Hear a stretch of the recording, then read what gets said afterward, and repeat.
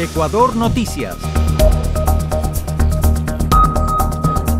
Igualdad de género. Ecuador ha experimentado uno de los avances más importantes en igualdad de oportunidades. Según el informe del Foro Económico Mundial 2014, se encuentra en la posición 21 de entre 142 naciones que trabajan por reducir la brecha de género y es el número 2 en la región solo superado por Nicaragua. Este informe destaca que el país ha mejorado la participación política y económica de las mujeres. Además, señala que, junto con otras naciones, ocupa el primer lugar en acceso a la matrícula escolar y secundaria. En el ámbito político, Ecuador tiene paridad de género en la Asamblea Nacional, con un 42% de asambleístas mujeres. Esto también se visibiliza en la Corte Nacional de Justicia y en cargos ministeriales, siendo uno de los países que más avances ha logrado.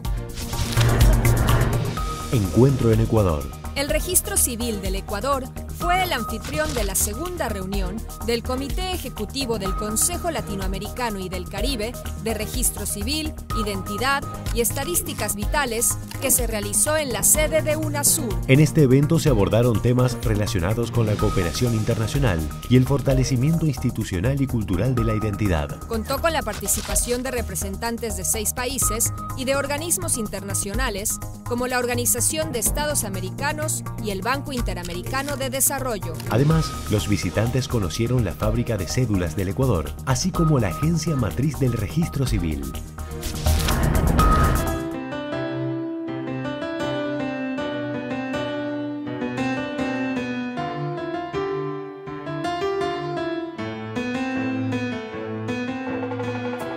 Ahora, ¿por qué se ha acordado de mí teniendo tantas cosas en la cabeza, siendo cardenal? Eso es humildad del hombre. Porque acordarse de yo que no he hecho nada del otro mundo, pues es humildad. De sencillo, de claro, un hombre de una mucha inteligencia muy clara y sencillo. No se anda con altas teologías, sino sencillo, para que lo entienda todo el mundo. Y ahora un hombre sencillo que pone la iglesia al alcance de todo el mundo, queriendo que la iglesia se comprometa con los pobres. Si me dejan hablar con él,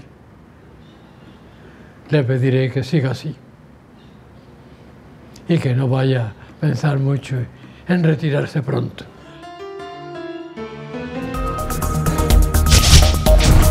Sigue conectado con Ecuador Noticias.